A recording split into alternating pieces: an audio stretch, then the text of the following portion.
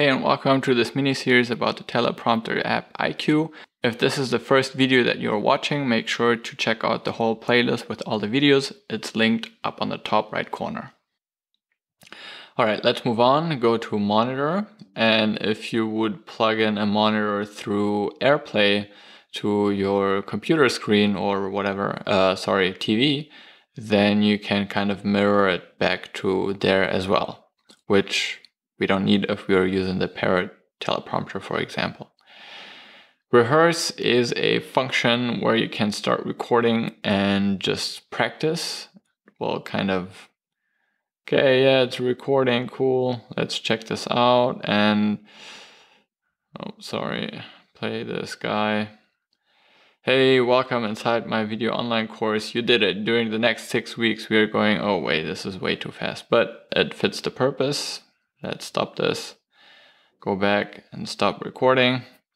And now we have recorded a video file with me trying to, oh my goodness, this looks awful, film from down below.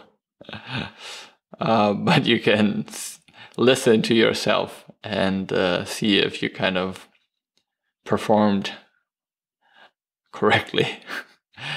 Next tab is help. And this is pretty awesome. You can see all the things that you can do here and read through this stuff. I'm not going through this obviously right now because I'm telling it you to you. Going back to the menu. And if you would like to know how I work with this app, how I write my scripts on my computer and how I transfer it to the app, simply click on the link in the description box and I'll send you an email with a free tutorial on how to do this. If you like the app, give it a thumbs up. And if you haven't subscribed, please subscribe to my channel. If you have any other app recommendation or if you found out anything else about this app, please comment. I'm always happy to hear from you. Take care and see you the next time.